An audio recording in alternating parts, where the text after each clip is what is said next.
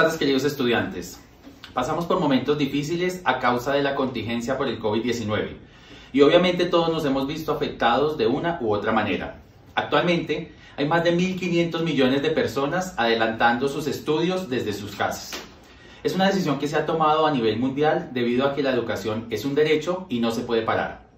Quiero informarles inicialmente que Indoamericana ha seguido realizando los pagos del personal administrativo, docente, de servicios generales, biblioteca, bienestar, talleres y en general a todos los colaboradores que pese a que no están asistiendo a la escuela, sabemos que tenemos un compromiso moral y ético con ellos y debemos ser solidarios en los momentos difíciles. Hago esta aclaración porque muchas empresas han tomado la decisión de despedir al personal a causa de la pandemia que estamos viviendo, lo que sabemos genera un sinnúmero de complicaciones a nivel personal y a nivel familiar. Desde que fue decretada la situación de emergencia sanitaria en el país, en Indoamericana se han tomado decisiones rápidas y acertadas. Quiero iniciar haciendo una cronología de estas decisiones que hemos tomado. El 13 de marzo se suspendieron las clases. El 18 de marzo se cerró la escuela. Del 17 al 24 de marzo, 27 de marzo, dimos dos semanas de receso por emergencia sanitaria. El 17 de marzo recibimos un comunicado de la Aeronáutica Civil solicitando implementar clases virtuales. Desde el cierre del 18 de marzo en adelante, decidimos hacer reuniones de consejo académico y, directivo diariamente por un mes. El 24 de marzo enviamos el comunicado 12 en el cual hicimos un censo sobre conectividad y necesidades de acompañamiento por parte de bienestar institucional. El 24 de marzo enviamos el comunicado 13 buscando implementar medidas de prevención frente al COVID-19. El 25 de marzo recibimos la Directiva 6 del Ministerio de Educación Nacional solicitando a las instituciones de educación para el trabajo y el desarrollo humano implementar de inmediato una solución para continuar con la formación virtual. Ese mismo día 25 de marzo hicimos la primera reunión de coordinadores y directores para establecer algunas condiciones que permitieran continuar con las clases. El 26 de marzo hicimos reunión general de docentes con asistencia de todos los profesores y la participación de coordinadores de programas, coordinadora de inglés, coordinadora de instrucción y control, director de TICS, vicerrector, rector. El tema principal eran las medidas que debíamos tomar para la implementación de la virtualidad. El día 27 de marzo hicimos una reunión con los representantes de curso para informarles sobre las nuevas decisiones que debíamos tomar y solicitar su apoyo. Y en esta reunión asistieron 140 personas, con una duración cercana a las 5 horas.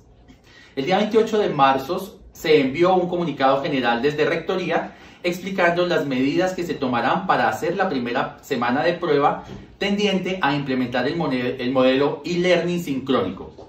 Durante ese fin de semana se hace la adaptación de la plataforma la matrícula de cada uno de los estudiantes, la asignación de clases a los profesores y la capacitación docente. La implementación de servidores más robustos y de mejorar la capacidad de transmisión de información y se toma la, la decisión de grabar todas las clases. El día domingo 29 hicimos reunión con los veedores de clase, que son personas que van a estar entrando a cada una de las clases y se emite el comunicado 15 informando sobre el inicio de clases virtuales. El día 30 de marzo iniciamos con la semana de prueba, es decir, con la virtualidad, haciendo pruebas de conectividad, comunicación y lo más importante, haciendo verificación del nivel de asistencia de los estudiantes y los docentes a las clases sincrónicas. Ese mismo 30 de marzo dimos inicio a la formación recurrente para tripulantes de cabina de Viva Colombia, es decir, que el personal especializado que ya trabaja en aerolíneas también inició formación virtual. El 1 de abril se hace reunión con los inspectores de Aerocivil, tanto de operaciones como de mantenimiento, para informarles sobre las decisiones que hemos tomado, dar un reporte de cómo ha iniciado el proceso de implementación de las clases virtuales y solicitar su aprobación para la continuidad de este tipo de formación en la escuela. El 2 de abril se hace reunión con el Departamento de Sistemas con el fin de verificar el proceso de almacenamiento de las clases grabadas. El 3 de abril hicimos reunión de coordinadores y directores para evaluar todo el desarrollo de las clases. Terminamos con esto la semana de prueba. El 6 de abril, ya en Semana Santa, hacemos reunión con auditores y departamento de sistemas. El 7 de abril se hace un consejo académico específicamente para proyectar tiempos y modificar el calendario académico acoplándolo a las nuevas decisiones para terminar el semestre. El 8 de abril en la mañana hicimos reunión general de docentes. En la tarde de ese mismo 8 de abril hicimos capacitación a docentes haciendo énfasis en las debilidades evidenciadas en la semana de prueba. Desde el 9 de abril hasta el 12 de abril se realizan capacitaciones a docentes, cuyo tema principal es la evaluación y realización de parciales en línea. Ese 9 de abril también emitimos el comunicado sobre las decisiones tomadas a partir de la ampliación del aislamiento preventivo. Quise hacer esta cronología para evidenciarles que hemos realizado un trabajo intenso, que nos hemos reunido todos los días y que las decisiones tomadas en la institución han sido siempre colegiadas. Es decir, nos hemos reunido previamente y han sido pensadas en favorecer los intereses de los estudiantes. Algo muy alentador es que pudimos corroborar que el nivel de asistencia de las clases durante la primera semana de prueba fue del 93%, lo que nos indicó que muy pocos estudiantes tenían problemas reales de conectividad y que podíamos continuar con el ciclo formativo que estábamos llevando. A raíz de la nueva medida de aislamiento hasta el 27 de abril y teniendo en cuenta la directiva ministerial número 6 que dice que las instituciones educativas tendrán que dictar clases virtuales hasta el 30 de mayo, realizamos un comunicado con algunas determinaciones. La primera, dar continuidad a las clases virtuales desde el día lunes 13 de abril en modalidad y learning sincrónico como lo veníamos haciendo, manteniendo el mismo horario de las clases presenciales. La segunda, pensando en no perjudicar a los estudiantes que tienen inconvenientes con la conexión en las clases sincrónicas realizadas durante esa primera semana de prueba del 30 de marzo a 4 de abril, decidimos no tener en cuenta las fallas de esa semana, es decir, que no vamos a correr inasistencias de la semana de prueba. La tercera, decidimos que los estudiantes que tenían problemas de conexión podían solucionarlos durante la Semana Santa y de poderlo hacer tendrían la posibilidad de acceder y visualizar las clases dictadas en la semana de prueba, ya que éstas fueron grabadas y este procedimiento sería válido para adelantarse y dar continuidad a su semestre académico. Sabemos de antemano por el censo que realizamos que a muchos estudiantes que presentaban este tipo de complicaciones se les dificultaría solucionarlas, porque no cuentan con conexión o porque están fuera de la ciudad. Así que nos hemos encargado de llamarlos uno a uno para hablar directamente con ellos y ofrecerles soluciones, debido a que no tienen una forma de continuar con su proceso académico y la institución les va a brindar todo el apoyo que ellos requieran. La cuarta decisión, a partir del 13 de abril, los instructores llamarán a lista y colocarán fallas a las personas que no estén en la clase sincrónica. Sin embargo, esas fallas pueden ser retiradas si el estudiante entra a la plataforma Classroom, visualiza la clase grabada, realiza las actividades correspondientes y deja un mensaje en el tablón indicando el cumplimiento de esas actividades. Quinta decisión. La asistencia a clase sincrónica será valorada con una nota por parte del docente. Esto lo hacemos con el fin de que los estudiantes participen activamente de cada una de sus clases, en el horario en el cual tenían su clase presencial. También les quiero informar que estamos trabajando en la implementación para este fin de semana de una página en donde podrán acceder al bienestar institucional. Allí se presentarán actividades que pueden realizar diariamente, como visitas a museos, conciertos, bibliotecas, audiolibros, tendrán posibilidad de acceder a clases de zumba, realizar ejercicios en línea, pausas activas, pueden ver videos de vitrinas aeronáuticas anteriores, bailes de estudiantes, grupo de técnica vocal, pueden hacer actividades de formación cultural y deportiva, pueden realizar clases virtuales y revisarlas, realizadas por instructores eh, de Indoamericana previo a este proceso, y tienen acceso a las fotos de la escuela. Van a tener adicionalmente un horario especial semanal para atención de coordinadores, otro para atención psicológica, entre otras cosas que vamos a implementar dentro de esa página de bienestar institucional. En cuanto al tema académico, actualmente estamos en la semana 8 de clase y los parciales del segundo corte se realizarán en la semana 10, por lo cual se está capacitando a los profesores desde antes de Semana Santa sobre cómo realizar esas evaluaciones virtuales y serán implementados los exámenes online en los próximos parciales correspondientes al segundo corte.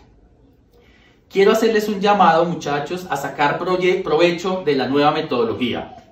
Debido a que la formación online o virtual está avalada por la aviación civil, la aeronáutica y la OASI, los cursos que se dictan para aeronaves, por ejemplo, Airbus 320, 330, 380, Boeing 737, 767, 787, entre otros, tanto para técnicos como para tripulantes de cabina, se hacen con un software llamado CBT, que traduce Computer Basic Training.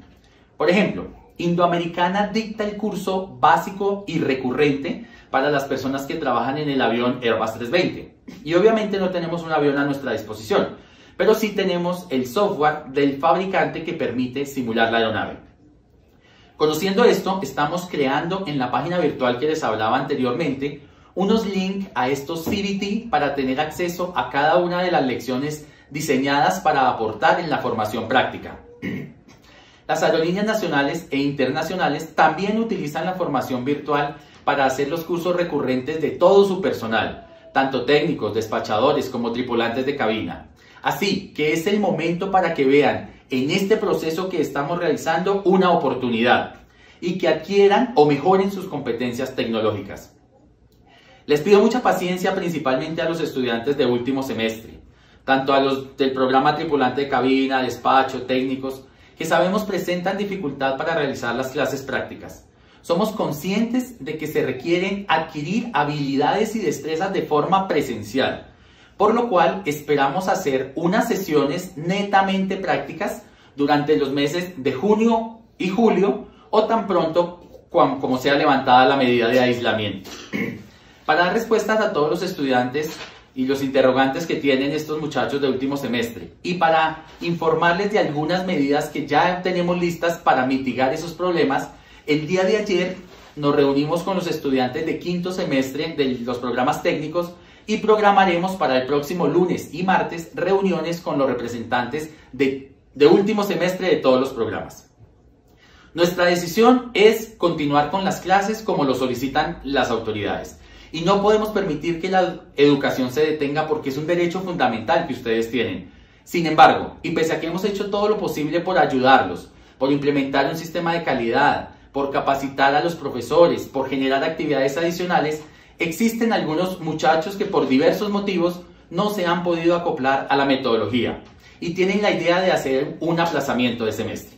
Quiero recalcar que estas condiciones de estos muchachos son diferentes a los de los estudiantes que no tienen acceso a Internet o conectividad o quienes están fuera de la ciudad, quienes ya han sido identificados por el censo realizado y los hemos contactado uno a uno para buscar alternativas de solución a su problemática. Para los estudiantes que no se han podido acoplar a esta modalidad sincrónica o no les gusta, quiero informarles que no vamos a estudiar ningún aplazamiento grupal. Es más, no podemos hacer aplazamientos porque el manual de convivencia solo permite aplazar el semestre al inicio o en casos como enfermedad, accidente, presentarse al servicio militar, entre otros. Por lo cual, no es posible aplazar el semestre porque iríamos en contra del manual de convivencia. Sin embargo, obviamente tampoco queremos tener personas inconformes o que no quieran seguir con su proceso de aprendizaje. Para estas personas que deseen interrumpir en este momento su proceso académico formativo, tendrán que hacer una solicitud individual, repito, no grupal, pues cada persona tiene unas condiciones diferentes propias y para estos casos hemos implementado una figura para apoyarlos por causa de la contingencia que estamos viviendo. Como les decía anteriormente, en estos momentos estamos haciendo la semana 8 del semestre, lo que quiere decir que ya pasamos la mitad del semestre académico.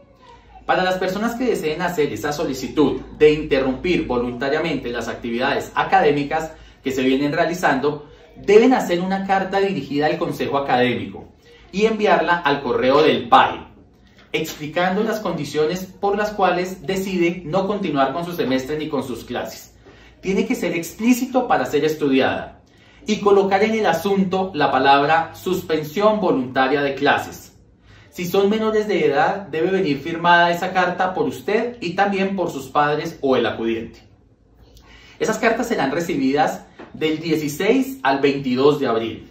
Cada carta será estudiada en el Consejo Académico y al ser aprobada, el estudiante podrá suspender sus actividades académicas en la semana 8 del semestre. Es decir, que el próximo semestre retomaría sus clases en la semana 9, puesto que ya cursó 8 semanas de clase. En este caso, se mantendrán las notas y las fallas que lleven hasta el día de hoy.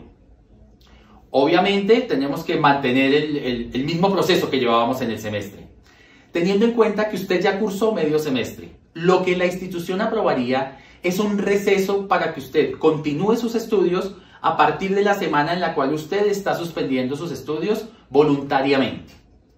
Esto quiere decir que si yo estoy en primer semestre y deseo hacer suspensión de mis actividades académicas, volveré, si todo marcha normalmente para el próximo semestre, en el mes de octubre, momento en el cual se estará cursando la semana novena, la semana número 9, a terminar los estudios correspondientes al primer semestre, uniéndose a un curso con estudiantes que en ese momento están en primer semestre y los otros irán en el siguiente nivel.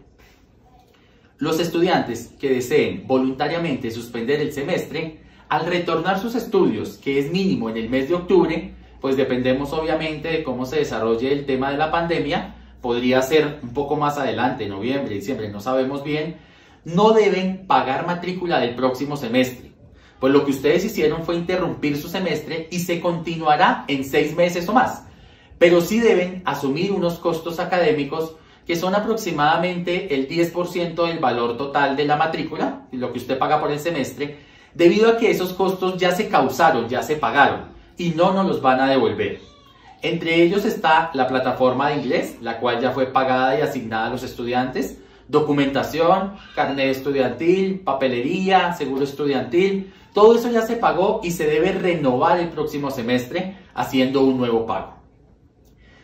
Espero muchachos esta información haya quedado clara. Como siempre, estamos haciendo lo posible por mantener nuestros altos estándares de calidad. Ustedes son el reflejo de lo que somos nosotros. Nos interesa que salgan muy bien preparados.